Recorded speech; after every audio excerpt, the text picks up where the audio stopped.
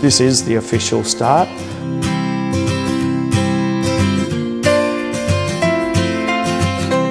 It's been important, I think, for Catholic families, but also non-Catholic families who are seeking to, to get a Catholic education.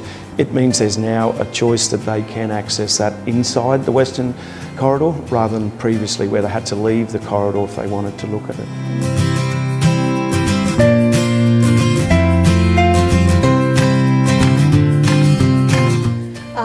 Good, I guess, like coming to a new high school, meeting new people, everyone's new, and you just got to adapt to it, I guess, and running around to different classes, and yeah.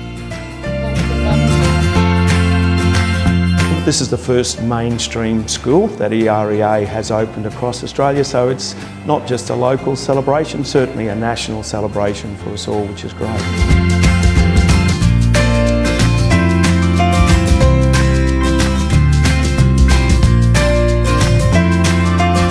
It's sort of a significant event, like stating that we're going to build off and we're going to look into the future instead of the past.